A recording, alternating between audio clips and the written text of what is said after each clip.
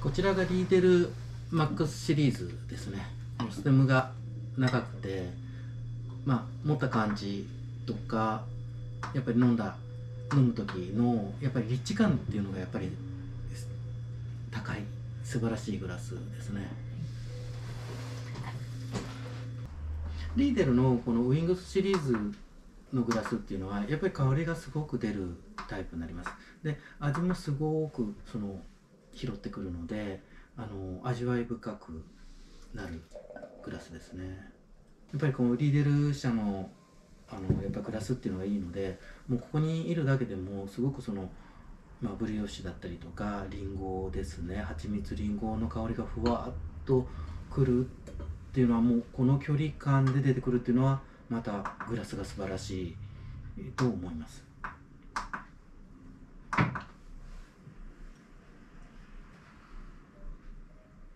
で今まあグラスの方もだいたい 80cc から 90cc ぐらいっていうのをまあちょっと下のスケールで測りながらあのまあサービスさせていただいてるんですけどだいたいまああのこのぐらいのグラスに対しての液量というのはまあこのぐらいが一番いいんじゃないかなちょうど膨らんだところの下ぐらいとかですね、はい、ウイングスだともう気持ち上でもいいかなって感じなんですけどこうすごくこの下底が厚いんで量が入ってしまいます。でこちらの方は、まあ、あのリーデルのベリタスシリーズですね。ベリタスシリーズも、まあ、どういうシャンパンを飲んでもすごくあの美味しく飲めるシャンパンニューグラスですね、はい、ではまあ実際飲んでいくっていうことをするんですけどあの、まあ、一応グラスで飲み比べていくっていう感じになります。でまずまあリーデルマックスの方ですね。あの一応今グラスシャンパーニュはこのグラスでお出しします。であのそうですね。すごく生き生きとした酸とリンゴですね。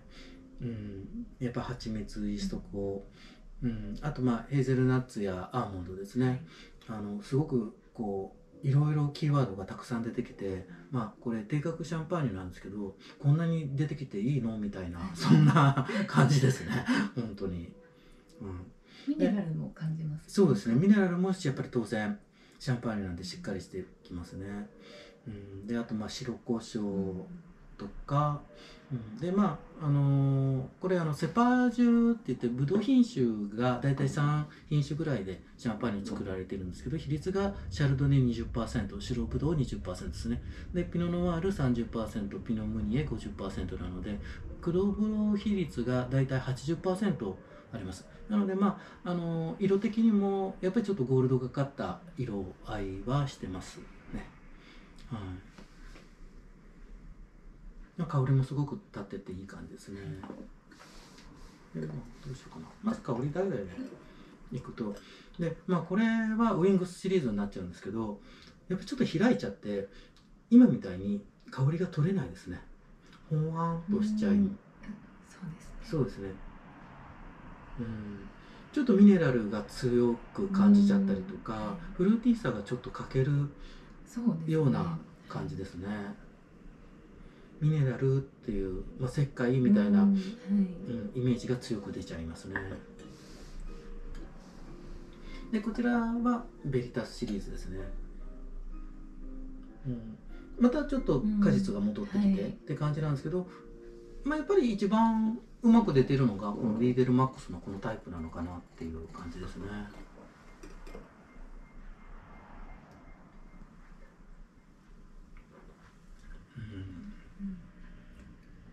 まあ、飲んでみても果実味がしっかりあって、やっぱり、うん、赤りんご系、うん、ですね。りん、うん、りんごがしっかりりんごと酸っていうのがバランスよくしっかり出てきてますね。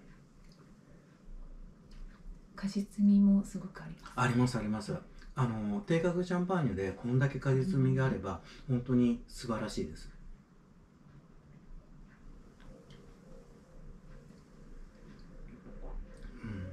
いいですねバランスがいいです。アフターのフィニッシュも結構柔らかくてまあそんなにめちゃくちゃ余韻は長いわけじゃないんですけど、はい。もうシャンパーニュだったらもうこうもう十分です十ね。ね。バランスがやっぱり香り、味余韻のバランスっていうのが素晴らしいバランスがいいです、うん、とてもいいです。がまあうんそうですね。リーデルマックスっていう感じですかね。はい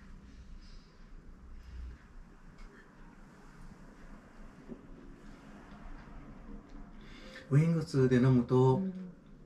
やっぱりうんなんていうんですかね。あの、まあ、渋みタンニンっていうのがしっかり出てしまう感じですね、先ほど感じてたリンゴの果実味がだいぶない。感じられなくなりましたね。全くないですね。まあミネラル鉱物的な硬さみたいな。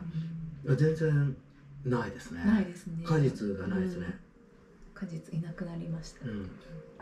鉱物と酸だけみたいな、はい。うん、ちょっと寂しくなっちゃいますね。はい。ビッタスですね。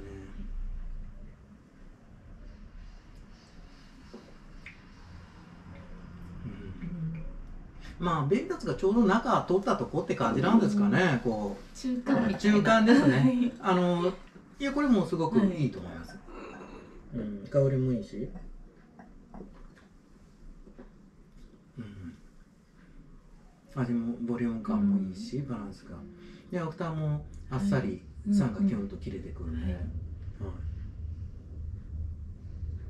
うん、美味しいですね。